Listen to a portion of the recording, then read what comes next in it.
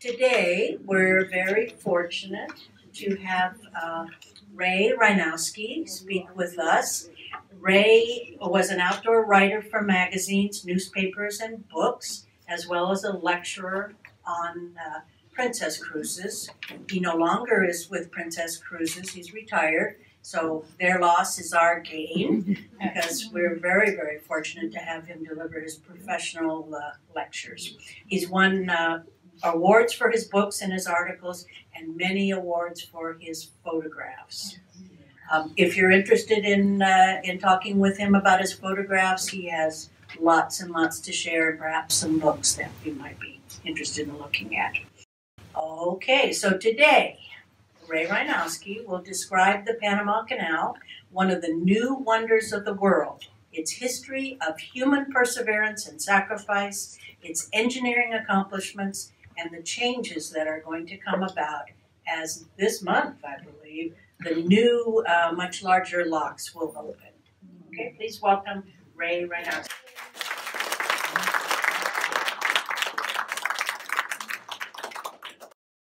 Thank you, uh, Noni. I'm going to start out with a quiz. So, uh, the questions are, how many of the three original sets of locks use locomotives to guide the ships? How many legislature in Colombia voted against the proposed U.S. Canal uh, Treaty, Panama Canal Treaty? Which of these justify the new Panama Canal expansion? It will accommodate larger ships. The demand is greater than the present canal capacity. Uh, canal income for uh, Panama will greatly increase. Oh, this isn't going to be hard, is it? so all of the uh, three now.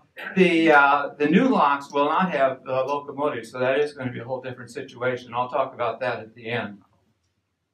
And the original treaty on the Panama Canal, uh, Panama was part of Colombia, and so the uh, treaty was going to be with Colombia, and they objected to it because it, uh, they would not give up their sovereignty over that part of Panama, and so none of them voted for it.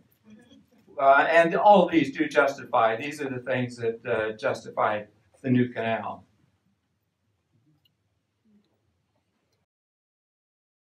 I tried to think of a sentence that would describe the Panama Canal, and so I came up with something, and here it is. The Panama Canal is an extravagant dream on an almost unbelievable scale. Good decisions and bad decisions, failures and successes, deception, lies, and under the table dealing, death, lots of death, heroes and villains, international intrigue, formation of a new country, great engineering on a grandiose scale that is functional 100 years later. How, how, many items do you know that are, are still functioning well 100 years later? And above all, a triumph that is sometimes called the eighth wonder of the world. The uh, you think of uh, North America and the South, South America, you know, down below, and North and South to Central America, connecting them. Well, it isn't exactly that way. You can see that this is the true north-south map, and Panama is a lazy S shape. And the Panama Canal right here, which direction do we go as we go from the Pacific to the Atlantic through the Panama Canal? So we're going northwest, actually. you think we're going east in general, but we're going northwest. The Panama Canal looks like this. So I'm going to start up here and talk about the trip through the Panama Canal start going through the Gatun locks. Now the uh, Agua Clara locks are will be functional in nine days. Go down through Gatun Lake, go down here and go through these cuts over to Gamboa and then down to the Centennial Bridge and on down to the Bridge of Americas.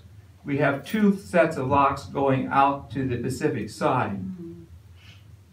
The tough part of the uh, construction was right in here. It was through the, the Continental Divide is right here, and the tough part of the construction was through that.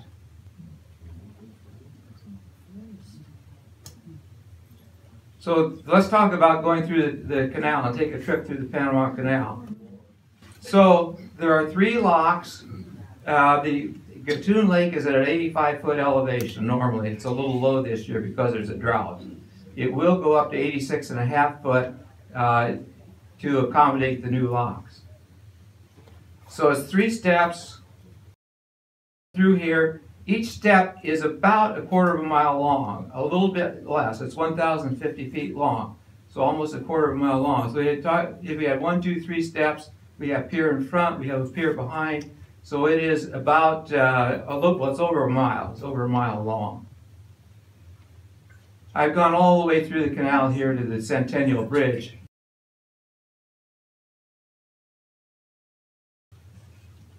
This is Gold Hill on the left, and that's where the Continental Divide is, about 560 feet up on the top of the hill. And I'll talk about that later. The new canal, the new uh, part of the canal to the new locks is right here, right in this area. And if I just look at that the other direction, it looks like this, and there's the, uh, uh, the uh, Pedro Miguel locks. And uh, canal, the new uh, canal will come in right through there, almost under the bridge. And then the Bridge of the Americas. That Bridge of America was built in 19, was completed in 1917. The Centennial Bridge was completed in 2014, and that's why it's called the Centennial Bridge. It's 100 years after the first ships went through the Panama Canal. This, uh, the deck on this bridge is 200 feet high, and so with high, considering high tides and other things, it allow ships with a, with an elevation above water of 190 feet. And that is a, a concern to some ships now, it is a limitation. So if we talk about the history of the canal, why were people interested in the Panama Canal? Well, if you go from New York to San Francisco, like they were doing in the gold rush time, and go, the route was all the way around Cape Horn, and then up here, 13,000 miles, nautical miles. And if you go through the canal, it's 5,000 miles. So you save almost 8,000 miles. If you're in a, a ship, that takes about 14 or 15 days. So it saves a lot of time, and of course, time is money. And these are the routes through the Panama Canal. So of course, a lot of it coming from Europe over uh, anywhere to the East Coast, well, to the West Coast, coming from Asia, Australia, and going through the canal. Six percent of the, com- the commerce, uh, by, by ship goes through the Panama Canal. First, uh, uh, well, you know that Balboa saw the Pacific Ocean in 1515, I believe is the date, about that time anyway. And so King Charles, in 20 years later, or 19 years later, was interested in building a, a canal across that. It was a narrow section, and so he was interested in building a canal across that isthmus. During the gold rush and before, there were land routes that connected, were, we were showing, and go across that isthmus. They would go up the Chagres River and then have mules to transport them the rest of the way over to the Pacific and then uh, get another ship going up. And of course, that is kind of the preferred route during the gold rush. The Transcontinental Railroad was, was completed in 1855, so our first transcontinental railroad of the Americas, and of course, it was pretty short, so that was uh, candy. Um, they began studying the Panama Canal seriously and thought about building a canal in like 1870. So this is the uh, the railroad route, and you can see if we start at the north, the Monkey Hill up here, the, the canal really goes from here down through here and kind of follows the route of the railroad. So the uh, Continental Divide is right here at Gold Hill, almost to the Pacific side of it. So the Panama Canal began as a private, privately funded venture uh, by the French in 1882. And at that time, they said, we're going to do a sea level canal. During the French construction, the 22,500 workers died, mostly from the diseases, yellow fever and malaria. They spent about $300 million, a little less than $300 million. Uh, and they ran out of funding and discontinued work in 1889. They did, they went bankrupt and then another company took it over and so they had a different company owning the Panama Canal rights. Ferdinand de Lesseps was one of the, uh, started out as a hero and kind of ended up as a villain. He uh, was an engineer, and he was the one that was responsible for the Suez Canal. And he did a great job on the Suez Canal, and it was a sea level canal. He said, We're going to do a sea level canal across to Panama. Well, didn't work out so well. The, uh, he, he and his son were involved in it. They were not 100% honest, to say the least. They didn't talk about the deaths that we were seeing. They didn't talk about that, hey, we aren't really making progress like we're claiming we're making progress. And so they uh, went, uh, they discontinued the canal. Uh, they were tried. The son went to jail. I think he didn't go to jail, but maybe because he was too old and they let him not be, avoid that. How did this stamp uh, change the canal? The next champion of it, really probably the, the major champion of the Panama Canal, was Theodore Roosevelt. And you remember that uh, Theodore Roosevelt, remember the charge of San Juan Hill of the uh, War of, what was it, 1892 or? Spanish American. Spanish American, okay, thank you. Uh, and he remembered the charge up San Juan Hill. Well, he would have liked to have some Navy support for that, but the Navy was in the Pacific, and it would have to go all the way around South America and get there and take more than two weeks, and it was too long. If they'd had the Panama Canal, they could have gone through the Panama Canal and got there in time to be assistant. He was the Secretary of the Navy, and he believed that uh, we needed a strong power to uh, a strong navy to be a, a, a, world power. At the time, there was a discussion whether the Panama Canal should go through, or the canal should go through uh, Nicaragua or Panama. The Congressional fa uh, Committee favored the, the uh, Nicaragua Canal, and they thought it would cost about two thirds of the Panama Canal. But the representatives of the French company really did a full court press on Congress and the president. There was a, a Philip Bunau-Varilla had access to all these people as a great diplomat. And France offered the canal, the rights to the canal and the work that they'd already done to the U.S. for $100 million. And then they found out that America wasn't going to go for that, the U.S. wasn't going to go for that, so they dropped the price to $40 million. The Nicaragua Canal would look something like this. It the Panama Canal is 53 miles long. The Nicaragua Canal would be about 100 miles longer. But it had some advantages. It had some big rivers that it could go up, uh, like here or here, go through Lake Nicaragua, and then they would have to build a canal over here to drop it down to the ocean. It'd be 107 feet high altitude versus 85 for the Panama Canal. There was an Asian billionaire that came in and bought the rights to do this canal and promised to have it done by uh, 2019. Well, it's it started out good, but it's it's uh, pretty well in limbo now. So I doubt that it will ever be built, but who knows? With the Panama Canal, you know, I don't see this needed at least for a while. During the time when they were talking about this in uh, in 1902, uh, there was an eruption, a volcano eruption in Pele in Martinique over in the Caribbean islands. It was 1,500 miles away from the canal, but it got people's attention because it killed 30,000 people. There was a uh, eruption in Nicaragua also. It was 100 miles from the path. It didn't kill anybody. So the proponents of the Panama Canal sent a letter to each of the senators and it had this stamp on it. Now, you can see, what do they show? Well, the prominent feature of Panama, or rather Nicaragua, volcanoes. And so it uh, uh, was designed to scare the senators into saying, okay, we got to go through Panama, we can't go through Nicaragua. And they voted 42 to 23 for the Panama Canal route. And of course, given that you had the patent, so much work done by the French already, it was probably a good decision. Panama was part of Colombia when this was all started, and so we de uh, developed a, a, treaty proposal with the Colombians, and that's when they voted, uh, was zero voted for the treaty. And Panama ceded from Colombia in 1903. They, they were aided by the U.S. and the French, trying to uh, get, get it uh, so that they could get that canal built. And the U.S. had a gunboat in place the only way they could get from Colombia to the Panama Canal to uh, put down the revolt was by sea. And so the U.S. was there and blocking that. So that really did, took care. There, there wasn't a possibility of Colombia doing that. And they give uh, Panama Canal the, the rights to this, uh, the U.S. the rights to the Panama Canal for $10 million per year, which is pretty much a pittance. Uh, oh, and that came in late.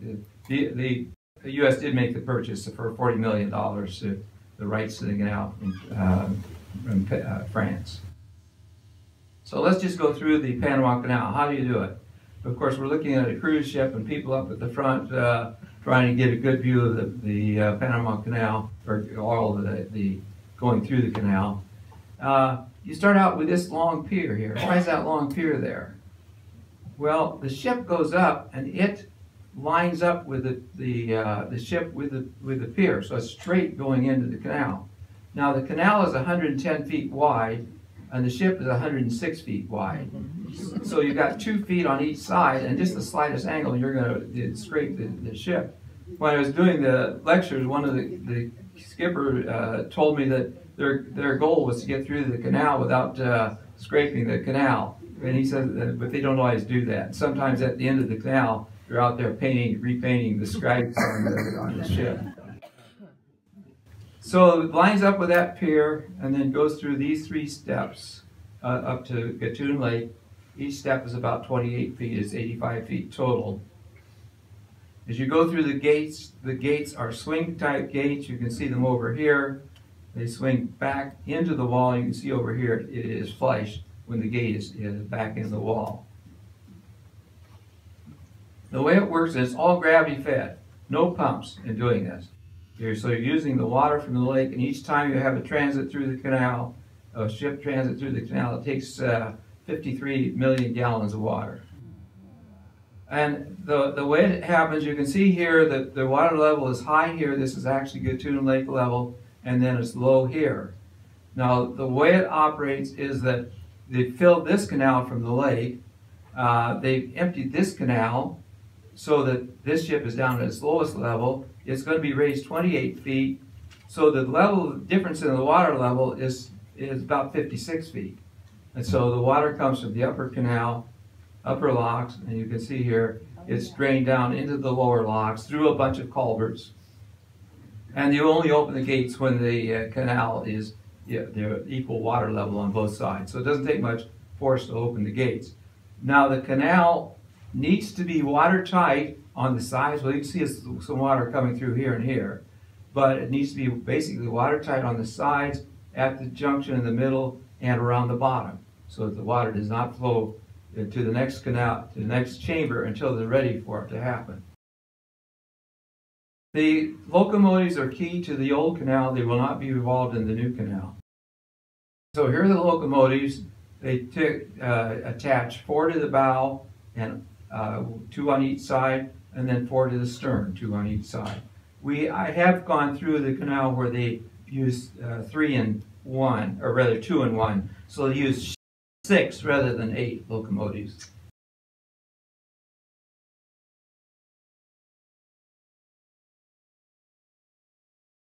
And the locomotives look like this. This is the third generation locomotives. The very first one for the first canal was made by General Electric.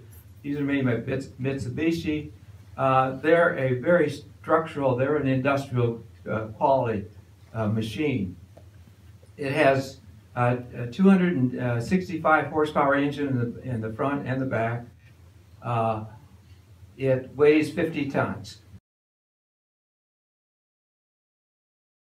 And as they go from one canal level to the other, they climb up this hill. Well, that's a steep hill. It almost looks like a 45 degree angle. Well, it's not that steep, but just but it is very steep. Um, so you, how do you climb that uh, steel rail to steel rail? Well, you don't climb that steel rail to steel rail. So it's a cogwheel design, and you can see down here, or actually over here better, you can see the cogwheel goes down into this center track, and that's what drives the, uh, the locomotive. You need it for that, but you also, when you're trying to position the ship, and that's what you're doing with these, is you don't want that, that uh, locomotive to be sliding back and forth on the rail. You want it to be fixed where and, and stay where you want it, and so that cogwheel does that too. You use steel cables, don't want anything that stretches, so you use steel cables, and those go and are attached to the ship. So there you can see a, a cable from each, the front and the back, and they are controlled on the locomotive. They wind them in and out, and that's how they control the, the ship. The locks, the uh, control tower is right here. It's in the center of the, the uh, two locks. Uh, and then over here is an observation point. I've never been there until this last trip. We did an uh, excursion. We saw these locks and then the new locks. And our last trip was in June 20th. We were there, or not June, April 20th. So I've been there uh, almost two months ago. As they finish, as they go through the, the uh, locks, the water is released to the chamber below it. But then when you get down to the bottom of the locks, it just is released out into the, or the, the sea level. And so this is the water coming out. The culverts that release the water are 18 feet in diameter, three people standing above, one above the other. So they're big. And there's a lot of water coming out of them, you can see. Uh, this is a Pedro Miguel lock, and it could be any lock.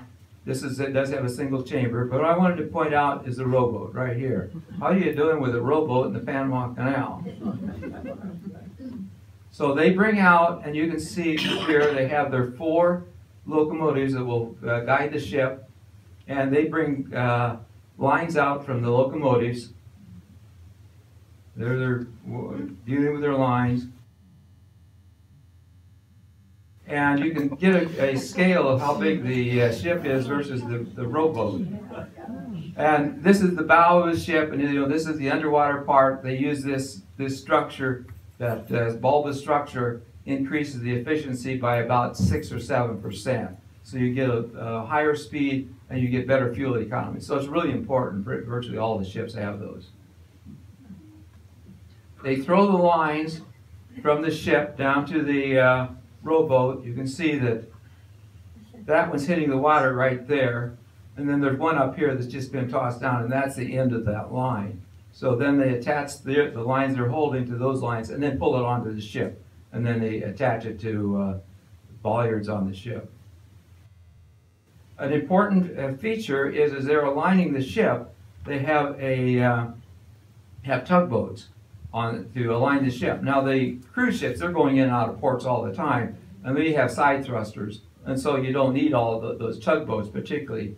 But uh, the regular ships, that's how they do it. They don't go to port very often. That's the way they get aligned. So that aligns it so they're going straight into the canal. But the yeah, ships, the, it's not the locomotives that power this, the ship through the canal. They it's the only the, power of the ship that makes them go through the canal.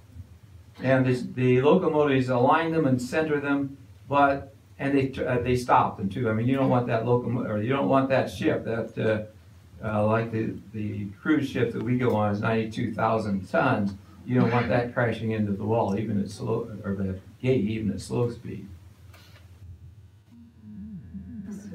So, so this is a Panamax ship. It's 106 feet wide. It's going on a 110 foot wide chamber. It's 965 feet long, and the chamber is 1,050 feet long, and so there's enough room to open the doors, uh, the gates. So the draft that's allowable is 39.6 feet, although now it's not. It's like 38 feet because Gatun Lake is low and they, uh, they can be 190 feet above the water line, the, the tallest structure on the ship. The uh, new locks will allow passage of much larger ships, and we'll talk about that in a minute. So these are the types of vessels that go through a little bit of everything. But the top, well, the, the, the most prevalent are the uh, container sh uh, ships. The third is car carriers, which was a surprise to me. The second is bulk carriers.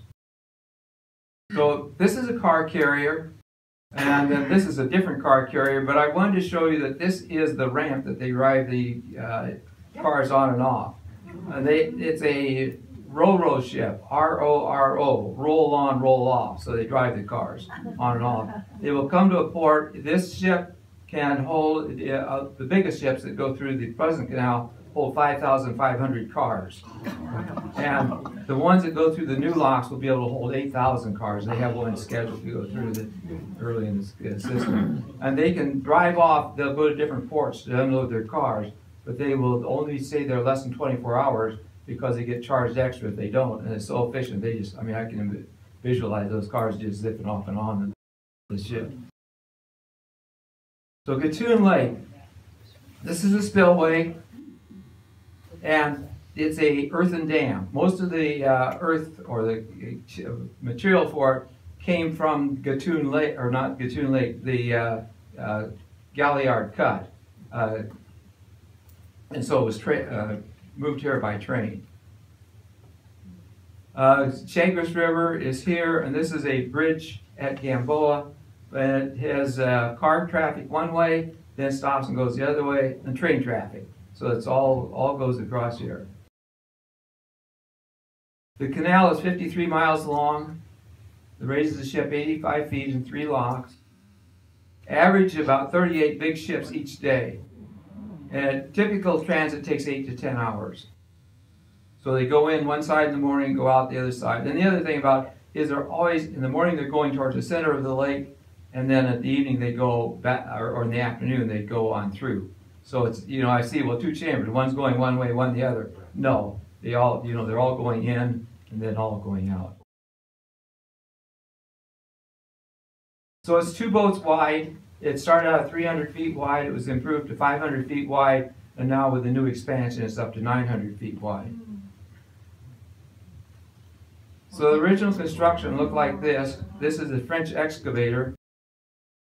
And you can see it brings material up here, dumps it in a, a train car, and then you know moves it along back and forth. When they get that material out of the way, they move the tracks over and continue working on it. There were three engineers during the construction, and the first one was John Wallace, and he, he did some things. Uh, he was there a couple of years, and then John Stevens came in. He was there from 1905 to 1907, and he made the major decisions. They were really good decisions.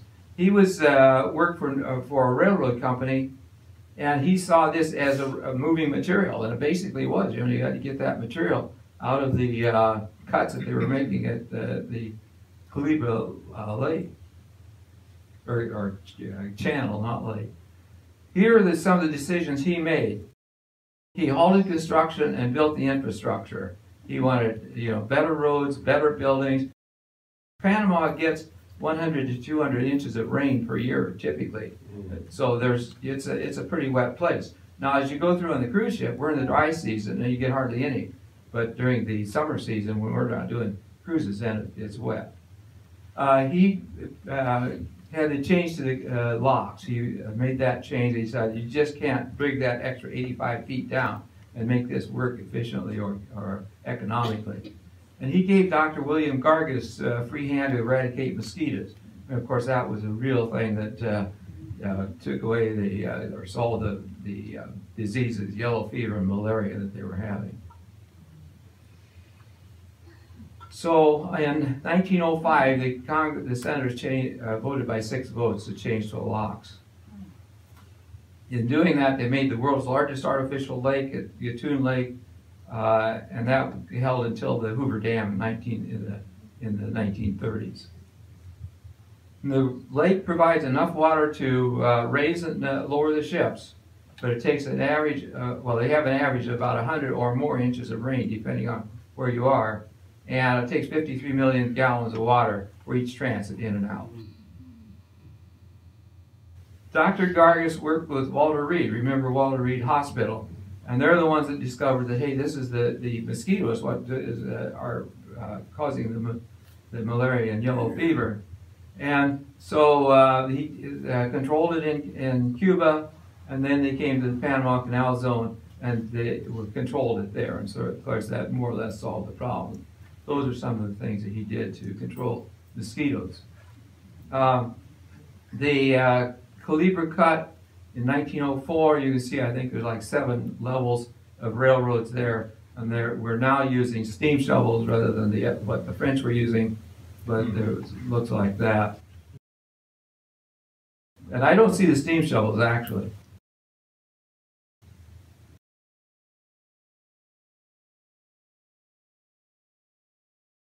So this is what the, the French did. This is the contour of the hill from Gold Hill down to here.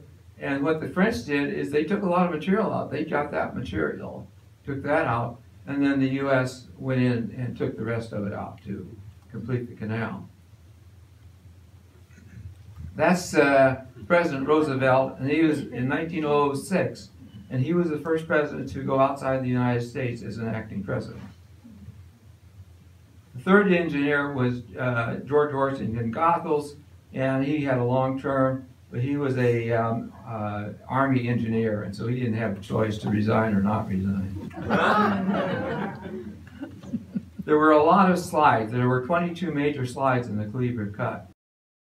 And in 1914, when they opened the canal, they were still excavating, taking care of slides that had happened. The gates are like this, and they are, let's see, up to 100 feet tall. That's not the exact number. They're 65 feet wide. Each gate is 65 feet wide, and they're seven foot thick. And you can see the way they're made with a, a structure and then a uh, skin on the outside. The chamber, the locks look like this.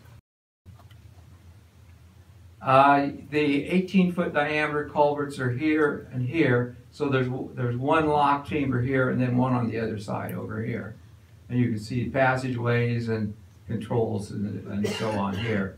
And then the water comes from one chamber into the next or from the lake or wherever and it goes is bubbled up and bubbled up isn't quite the right term uh, that through these uh, uh, ports on the bottom of the chamber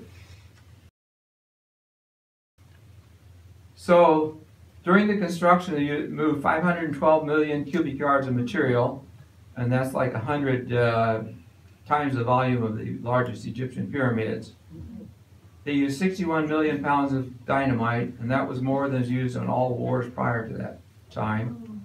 They poured 2 million cubic yards of concrete, and if we're thinking of like a 8 yard, 8 cubic yard truck, that's 250,000 uh, trucks, and you could string them across the U.S. from New York to uh, to San Francisco, and you pretty much fill the highway in doing that.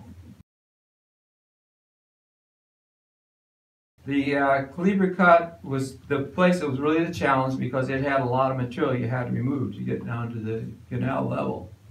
Uh, they had 50 to 60 steam shovels, and they uh, trains hauled the debris to the, mostly to the Gatun Dam to start with, and then other places too.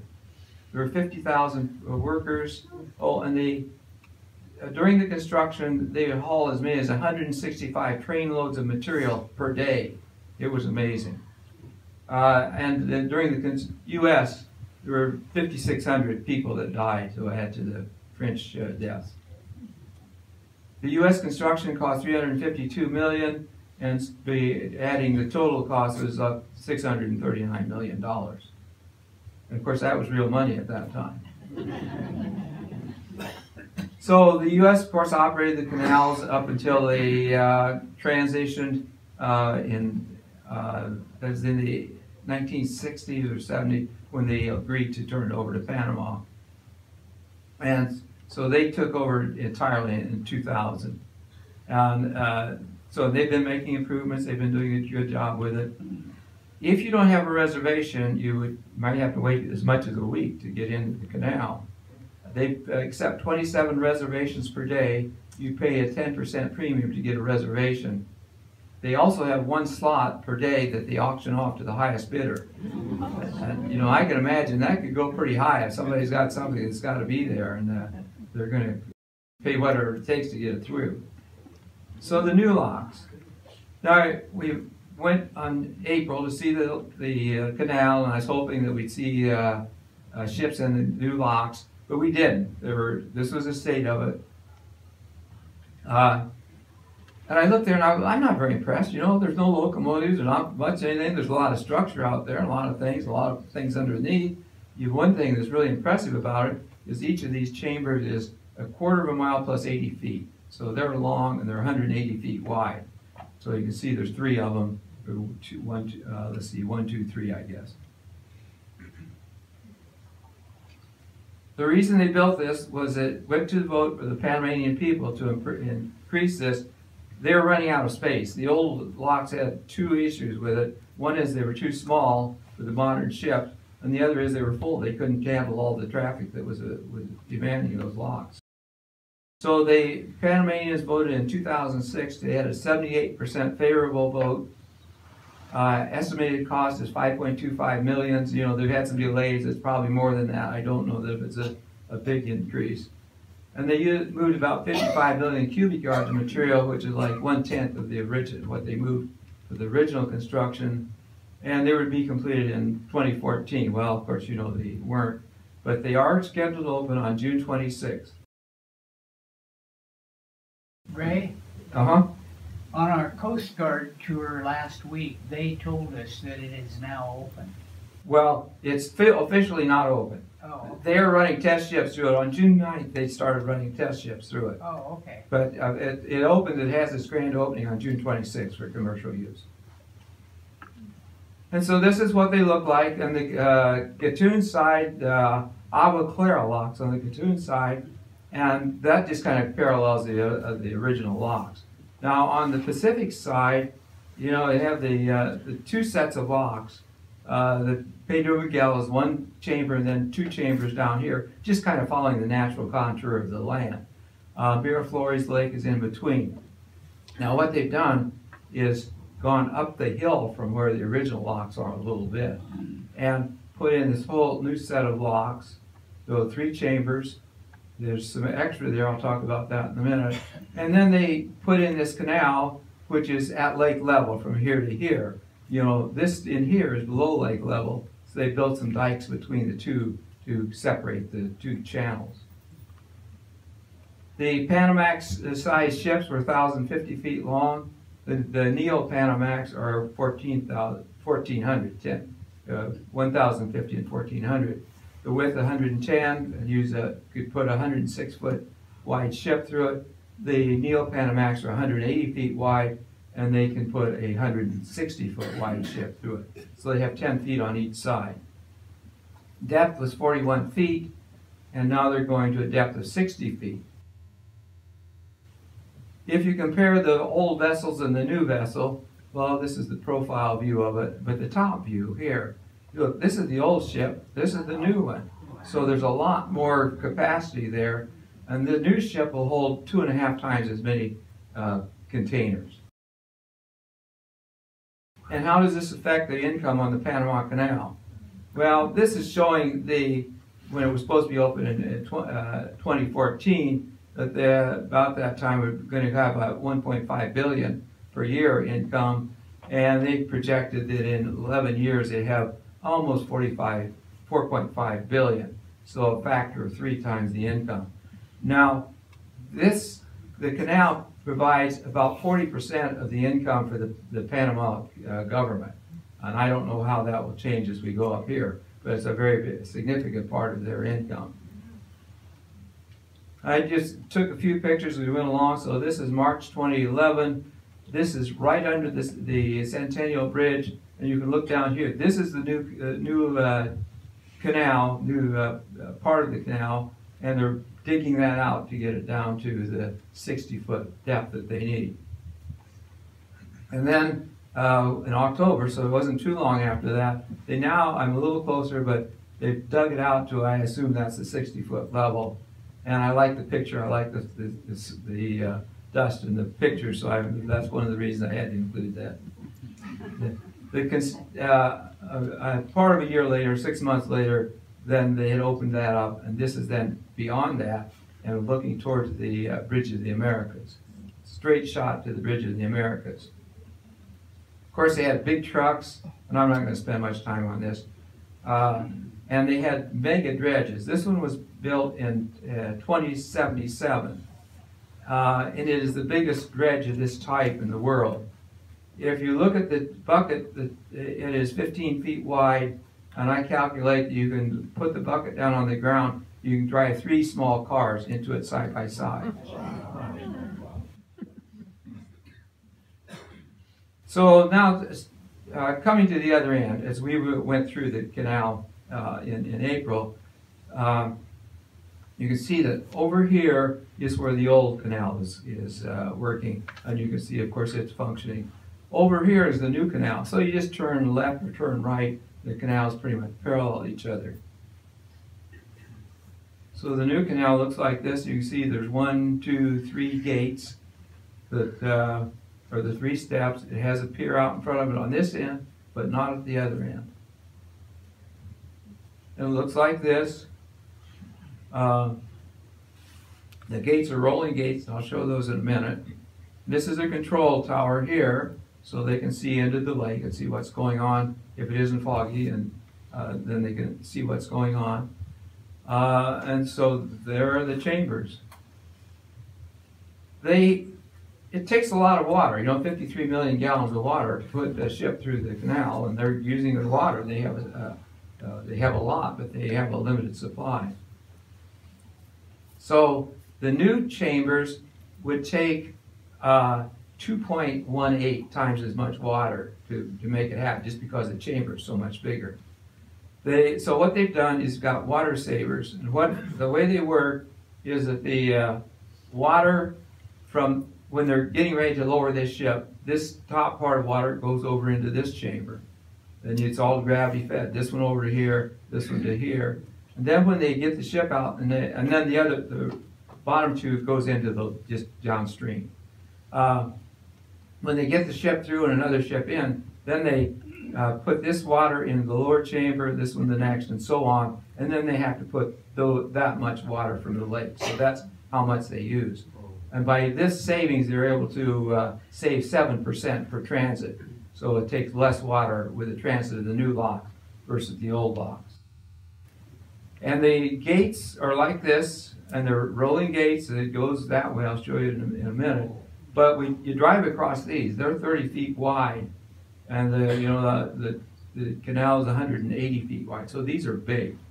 The uh, gates for the original canal, there are two of them, but they're like uh, 65,000 ton. Let's see, yeah, 65,000. No, 6, 650 tons gates, and these are up to 4,000 ton gates. So that that gate, one of those gates, can weigh as much as 4,000 tons and they go into these chambers and in and out. They have two at each position, and there's a couple of reasons for that. Uh, one is that they can uh, operate the canal. They have a, have to work on a gate. They can keep operating the canal, use the one gate, and then fix the other one, and, and so that. Uh, another reason is for safety. You can imagine that if you have these gates open in the wrong position, you could drain the lake.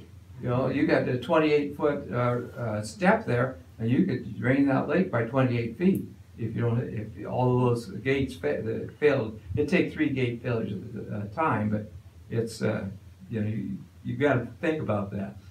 And this is a gate about half open, and then the rest of the way you can see the two gates, this one and this one.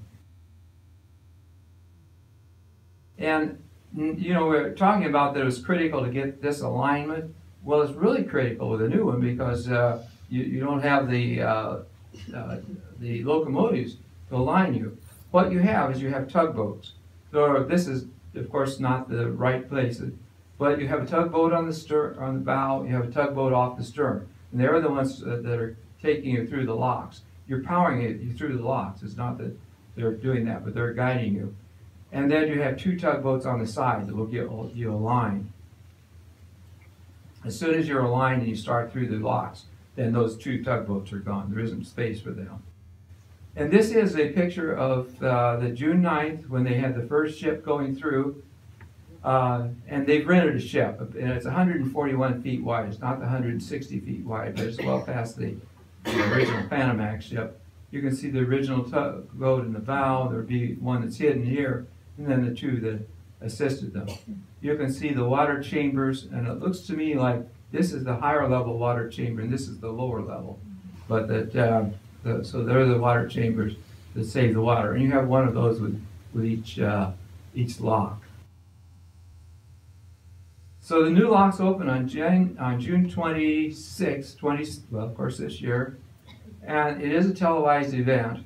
If you want to get more information, this uh, Canal de Panama is the official location for, for the canal. And if you'll go to their website, you'll get a lot of information, including, uh, a, uh, video of the first ship going through. Uh, it's supposed to open to, to cruise ships about a year from now. Now, if I think about it and say, well, somebody asked me, well, which locks would I like to go through? I say the old ones, for God's sake, there's so much more to see. See the locomotives, there's so much more to see. Uh, in these, they put, they come into a chamber, they tie up, they, you know, raise the water level or lower the water level. Then do that in three steps to get through the chamber. But you bring it in, you- you tie it up, and then you, you raise it. And if you want to get more information, there's a, The Path Between the Seas is just a wonderful book. I kind of read the first half of it because that was the French part of it and say, well, that was really interesting. I don't know if I want to read that. It's a huge book, so I don't know if I want to read the second, but then you've got to start reading the second. You can't put it down, so it's uh, something. I do have an extra copy. If somebody wants to borrow it, they're welcome to it. And there is a uh, copy of this in the library. So the Panama Canal, one of the world's greatest engineering accomplishments. So I'd be glad to take questions or see if I can answer some of them. Thank you very much. We're keep the old canal going. The question is, will they keep the old canal going? And yes, you know, this is increase the capacity. And by the way, there'll be one, one ship go through the canal the first day, four ships the next day, and they're gonna leave it at four. Now, the old canal, they're getting like eighteen ships through each channel. So, and they expect to get up to like ten to twelve ships per channel going through here. So it's not a huge, you know, you're not just putting a lot of ships through it, It- it's just they're a lot bigger over here. Is it still true that waters from the Atlantic and the Pacific never mix? That's what I was told when I went through the canal. Yeah, I guess that's true, because it's always going from the Gatun Lake down, and so it goes one way or the other, so they don't mix. What keeps the ships from hitting the sides as they go through? They, well, it's the tugboats carrying them. They, the sides have bumpers on them, it's a permanent bumper, so if they hit the sides, they've got some cushioning. But, so I'm sure that's a, a nice safety feature. Does somebody over here have one? Who designed the new canal? Who designed the new canal? You know, they did contracts to whoever they thought could do it. And it's foreign people that are doing it. It's not so much Panamanian. The Panamanians do the overseeing and they do uh, uh, most of the construction, but it's not so much that. Oh, I should, I forgot to mention that there's one place in the world where the pilot of the ship, the capper, uh, skipper of the ship, gives up control of his ship, and that's in the Panama Canal. Only one place in the world. That's true of the old canal, it'll be true of the new canal. But these, these pilots are well-trained. Uh, they know the idiosyncrasies of the canal, and you know, that's kind of, yeah, I'd really rather have them do it than this skipper that goes through once a month or something, or, yeah. How long did it uh, take to build the new canal from start to finish? two thousand, Is there a price tag? 2007, and the original price tag was $5 billion, or $5.25 billion. About the same as the Bay Bridge, huh? Well, I don't know, was that, how much was it? It was that? No kidding, that was that, Wound up front. amazing, yeah. George? Ray, any idea cost that, for a ship, what, what fee? Oh, yeah, that's an, I should have answered that question. For a cruise ship, it's about uh, $300,000 for a transit. And in your, in the fees for your cruise ship, you're gonna be paying about $165 per person to, to, as part of the, those fees. Ray, isn't there a, uh, a surcharge by going through a day versus night? Uh, In other words, it's more expensive for, uh, The the question is, to is go through it in the daytime, so you can see going through. But if you went through at night, there'd be a lesser charge. Well, he's, is, uh, Bob's asking if there's a surcharge if you go through during the day versus the night. And I think there's a safety issue on that. I don't know about, you know, it costs a lot of money, but it's, uh, uh, I'm not sure that there's a, the surcharge. I just don't know, to tell you the truth on that. So, Who was Pedro Miguel? I don't know, but there was a town named that. Yeah, don't know, or Mir- Miraflores.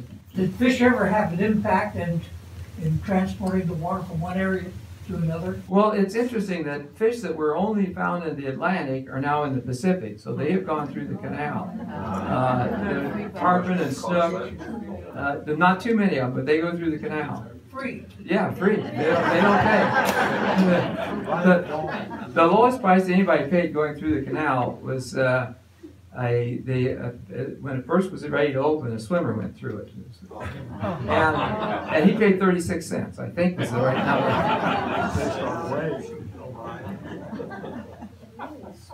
So why is it they don't need the, the locomotives anymore? Well, you know, their locomotives are expensive. It takes an operator every locomotive, uh, and you know, so it's an expense issue. Um, and they they don't need them because they have a ten foot clearance. They have bumpers, you know, and they have the tugboats to to help them. One of those old shovels is parked in northern Chile in front of a copper mine called Chuquicamata. And they bought this shovel to do the mining for them, as a second-hand piece of equipment. Okay, the shuttle. You mean the locomotive? No, no, the shovel. Oh, the shovel. Oh, okay, okay, yeah. Yeah, you know, there's that the uh, the shovels they use on land. They're pretty big, but they're not like in a mine. Man, the people in the mines. I mean, they're three or four times as big. The or the capacity in a, in a they're using in you know these open pit mining. Just unbelievable. Did they have to dredge the lake or is it deep enough? Did they have to dredge the lake? Yeah, they did. You know, and of course there are places where it was fine, but uh, there was a lot of dredging and along the Culebra Cut. I mean, that was even as you're going out. But you know, you got the, the uh, uh, Continental Divide, and then you're kind of going downhill in general towards uh, Gatun, and so there are places there that it was okay. Uh, but but it's you know it, it's a continuous thing. They do dredging uh, around the clock. Well, I don't go around the clock, but around the year anyway. Uh huh. You were saying that Gatun Lake was a little low. Right. Are they having a problem with water? What what is happening is uh, it's uh, El Nino year. The El Nino years they don't get as much rainfall down there, and so they're having a problem now.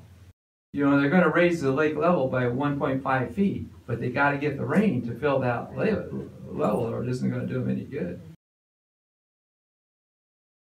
Texas is getting all the water. Okay, yeah. well, it's El Nino. I don't know. Everything changes at El Nino. So are you going back? Uh, you know, I, I don't know. I doubt that I will, tell you the truth. I, I'd kind of like to go through one more time, but I don't know that I will. Yeah, 18. Well, I was giving lectures, you know, and I do two or three a year for six years. Okay, well, thank you very much.